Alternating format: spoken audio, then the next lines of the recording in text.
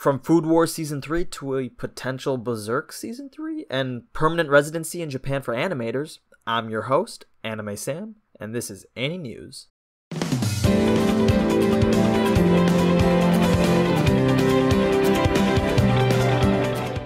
What's up, guys, and welcome back to another episode of AniNews. And yes, you did hear me right, it was almost out of nowhere, but it did get confirmed in this year's 30th issue of Weekly Shonen Jump. We're getting another season of Food Poor. I, uh, I, I sorry, I mean Food Wars. So the season will be called Shokugeki no Soma San no Sara, aka The Third Plate.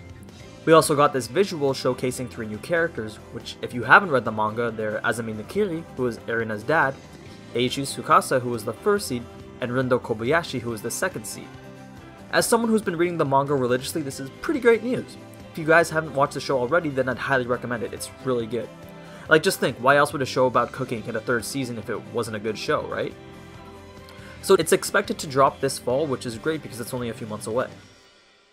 Now moving on to the new previews for today, first up I've got a full-length preview for the show 18if, which up until now has remained a complete mystery. It's based on a puzzle mystery mobile and VR game, but this trailer doesn't do much to show people who haven't played the game what it's about. But from what I can tell, we have the protagonist who gets sent to a Wonderland type world. And you can tell when he's there because of the way that they animate his character, it's much more western like, almost as if it's a Disney animator that did it. And that may be a pretty interesting aspect of the show, combining different animation techniques. Next up is the trailer for New Game Season 2. It's a direct continuation of the first season, which in case you didn't already know, it follows the story of a bunch of game makers. So if you'd like to see the full trailer to this or anything else that I mentioned today, all links are in the description below. And this show is expected to start airing in July 11. Now I've got the trailer for the upcoming series En-musubi no Yoko-chan. There's literally no information on this show, so I'll just stop here since probably nobody is going to watch it. But on the other hand, Toho Animation dropped a pretty cool trailer for Houseki no Kuni, aka Land of the Lustrous, and the premise is pretty interesting.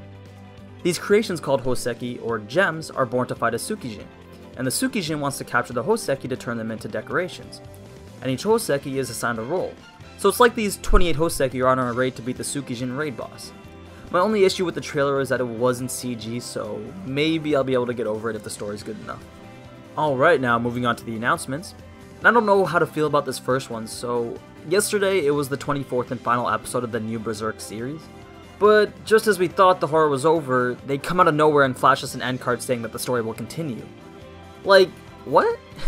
So I don't know if this means that a season 3 is coming soon or what, but they just need to take a minute to listen to their fans and maybe hand off the torch to a different studio. Also in the news, the Gainax film Uru in Blue finally began production. And in case you didn't know why this was a big deal, the film has been in the plans since 1992, but after multiple suspensions and revivals, it finally started production. So this is pretty much a 25 year project and counting. The upcoming shows Isekai wa Smartphone and Ballroom Yokoso got these visuals. And finally, Yuru Camp Delta got scheduled for a winter 2018 release.